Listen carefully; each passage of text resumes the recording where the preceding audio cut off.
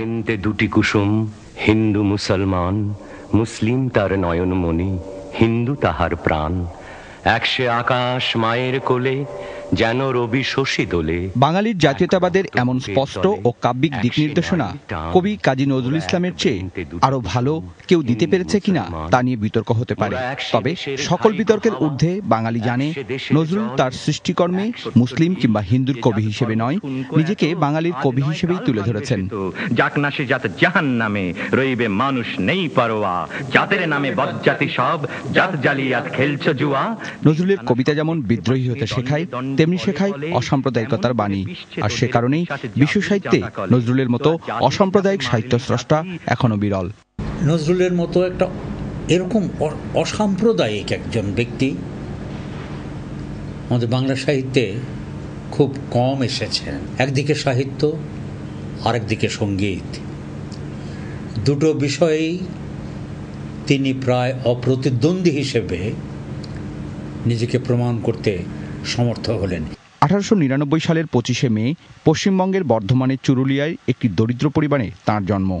জীবন সংগ্রাম কি সেটা বুঝে ওঠার আগেই মাত্র সাত বছর বয়সে বাবাকে হারিয়ে পরিবারের হাল ধরেন নজরুল।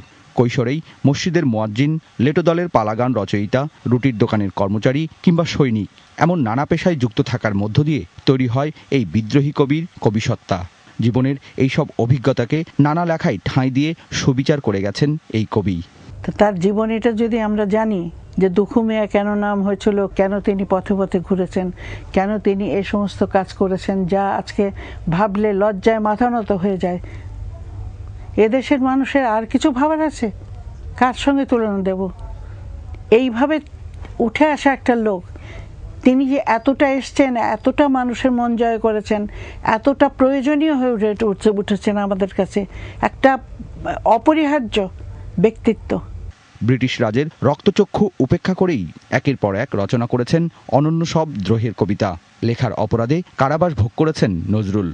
কারাগারেই পালন করেন উনচল্লিশ দিনের অনশন। আমাদের সাহিত্য তোমাকে অনশন ভাঙার দাবি জানাই এমন একটি চিঠি লিখে নজরুলের অনশন ভাঙানোর আহ্বান জানান কবিগুরু রবীন্দ্রনাথ। উনিশশো বিয়াল্লিশ সালে মস্তিষ্কের জটিল রোগে আক্রান্ত হয়ে মাত্র তেতাল্লিশ বছর বয়সী থেমে যায় বিদ্রোহী কবির লেখনী। প্রায় দাদু না ধানমন্ডির বাড়িতে বাগানে আমরা নিয়ে তাতে হাঁটতাম ভীষণ সুন্দর করে হাঁটতেন। অনেক ফুলের গাছ ছিল সেখানে দাদু একটা একটা ফুলের পাশে যেতেন।